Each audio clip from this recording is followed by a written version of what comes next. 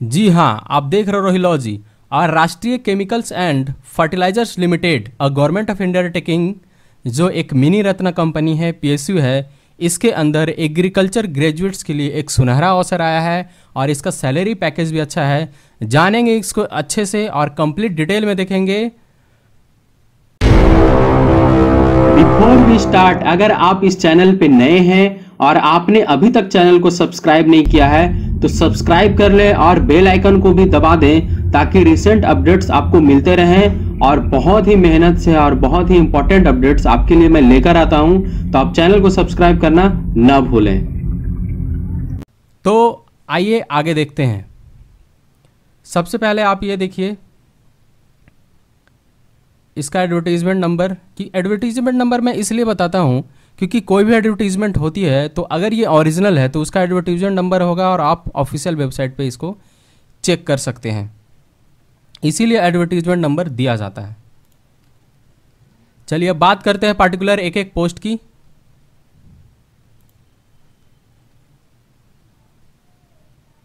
तो ये आप देख सकते हैं पोस्ट कोड इधर लिखा हुआ है, उसके बाद name of the post and discipline number of seats कितने हैं वैकेंसीज कितने हैं और कैटेगरी वाइज सीट का डिस्ट्रीब्यूशन क्या है? इधर एजुकेशनल क्वालिफिकेशन उसके बाद आ, ये है आपका एजुकेशनल क्वालिफिकेशन और एक्सपीरियंस जो कुछ भी होगा यहाँ पे शो करेगा।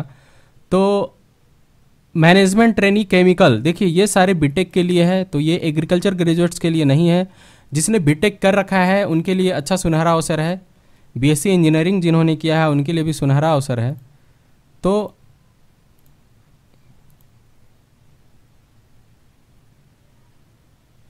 उसके बाद आगे का जो पोस्ट है, ये आप देख सकते हैं। सारे में बीटेक चाहिए मतलब मैक्सिमम पोस्ट इसमें जो है, वो बीटेक वालों के लिए है। बी बीटेक बीएससी इंजीनियरिंग ये सब चीज़ के लिए है। मैकेनिकल डिसिप्लिन वगैरह के लिए है। जो बीएससी एग्रीकल्चर ग्रेजुएट्स हैं, उनके लिए कौन सा वैकेंसी है, वो मैं आपको दिखाता हूँ।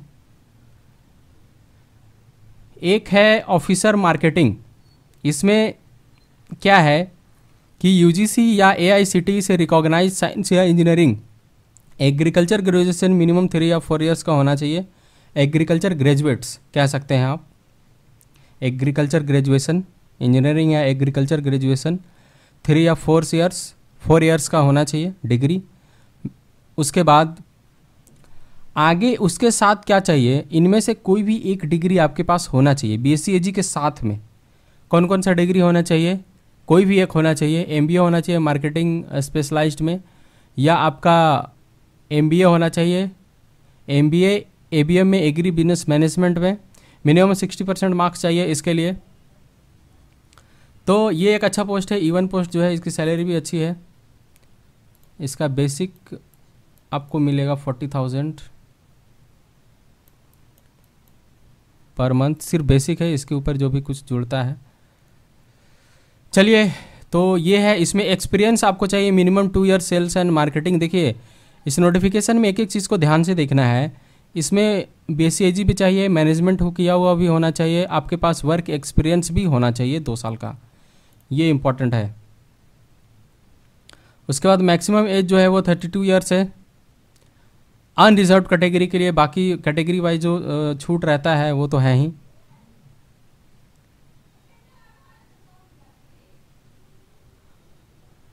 उसके बाद या, उतना होने के बाद, या तो आपके पास और में जो क्वालिफिकेशन लिखा हुआ है, ये आप देखिए। इसमें से या तो full time UGC recognised agriculture graduation degree for minimum four years वाला होना चाहिए। वही बीएससी एग्रीकल्चर सिंपल कह सकते हैं। और full time PG degree in MSc of two years duration in agriculture ये होना चाहिए। तो ये है इसका क्वालिफिकेशन इस पोस्ट के लिए बहुत अच्छा पोस्ट है। आप चाहें तो इसके लिए अप्लाई कर सकते हैं। और जल्दी करें इसका लास्ट डेट भी आ, कम है बचा हुआ। उसके बाद फाइनली एक पोस्ट यहाँ पे आता है ईओ में।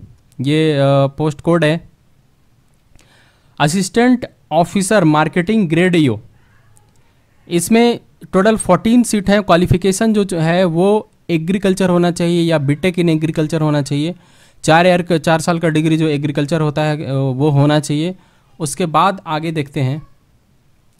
इसमें मिनिमम ये ध्यान देने योग्य बात है इसमें। इसमें मिनिमम फोर इयर्स का आपके पास वर्क एक्सपीरियंस होना चाहिए एग्रो सेक्टर्स में। Agro related industry after graduation qualification period of training will not be content in the request experience period मतलब अगर आप ट्रेनिंग में हैं तो वो पीरियड काउंट नहीं होगा।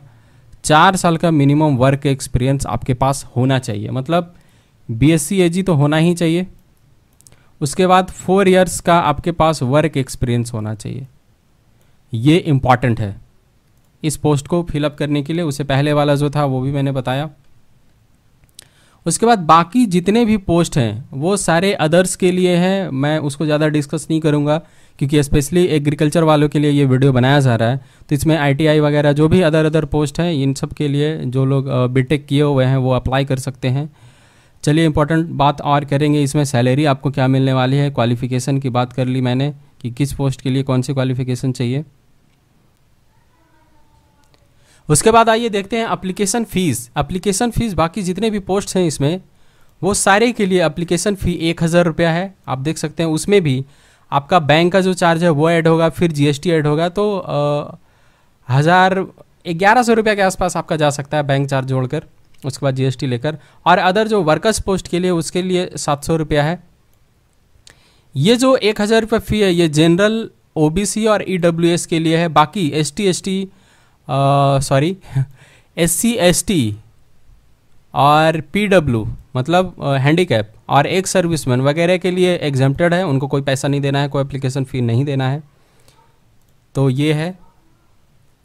फ़ी का मैंने देखा। उसके बाद सैलरी स्ट्रक्चर की बात करें मैनेजमेंट ट्रेनिंग के लिए देखिए, आपको initially thirty thousand per month मिलेगा।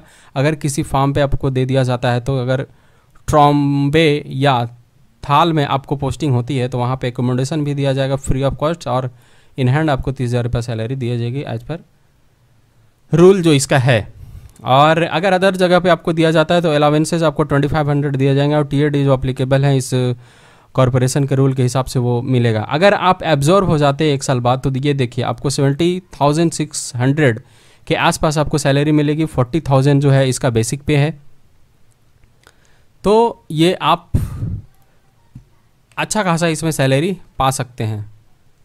उसके बाद मेन इंपॉर्टेंट पॉइंट जो है, इसमें ये आपको जानना ज़रूरी है, इसमें जो है एक लाख रुपया का बॉन्ड है और बॉन्ड क्या है? एक साल ट्रेनिंग पीरियड प्लस तीन साल सर्विस इसको देना है मतलब चार साल का बॉन्ड पीरियड है।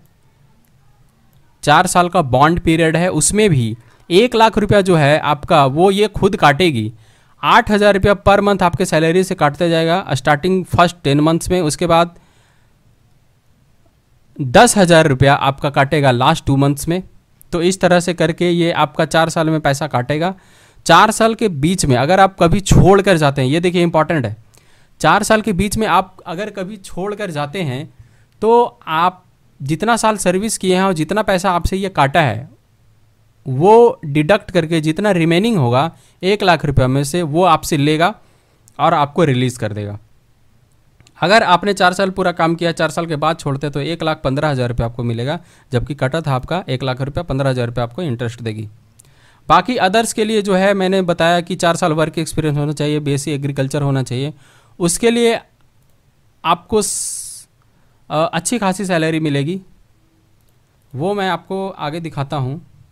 उसमें देखिए, ये है ईओ ग्रेड पोस्ट के लिए जो मैंने बताया बीएससी एग्रीकल्चर प्लस चार साल का वर्क एक्सपीरियंस होना चाहिए एग्रो इंडस्ट्रीज़ में। उसमें आपको fifty three thousand approx salary मिलेगा। इसमें कोई ट्रेनिंग पीरियड नहीं है डायरेक्ट आपको परमानेंट पोस्ट पे रिक्रूट किया जा रहा है और इसके लिए कोई बॉन्ड अमाउंट भी नहीं है। तो ये था सैलरी और जिस पोस्ट के लिए आप लोग एलिजिबल हैं, उस पोस्ट के लिए सैलरी और क्या उसके बॉन्ड पीरियड है और बॉन्ड अमाउंट क्या है, ये मैंने आपको बताया। तो जैसा कि मैं स्क्रॉल कर रहा हूँ, कुछ इंपॉर्टेंट नहीं है, जो इंपॉर्टेंट था मैंने आपको सारा बता दिया है। लास्ट इसमें, अब देखिए, सबसे लास्ट में ये पॉइंट लिखा है, इसलिए मैं लास्ट में भी बता रहा हूँ कि कैंडिडेट्स जो अप्लाई कर सकते हो ट्वेंटी नाइन जून से पंद्रह जुलाई 2020 सत्रह। सत्रह आवर्स मतलब बारह पाँच सत्रह, शाम पाँच बजे तक। शाम पाँच बजे तक ये अप्लाई कर सकते हैं फिफ्टींथ जुलाई लास्ट डेट है इसका। तो जितना जल्दी हो सकता है, अगर आप इसके लिए एलिजिबल हैं तो अप्लाई कर दें। ये एक्चुअली आया था बहुत पहले ही मैं इसको थोड़ा लेट से अपडेट कर रहा हूँ। तो, तो ये था इस वीडियो के बारे में कंप्लीट डिटेल मैं आशा करता हूँ आपको वीडियो अच्छा लग रहा होगा। अगर आप इस तरह के अपडेट से जुड़े रहना चाहते हैं तो चैनल को सब्सक्राइब करना ना भूलें। Thanks for today bye bye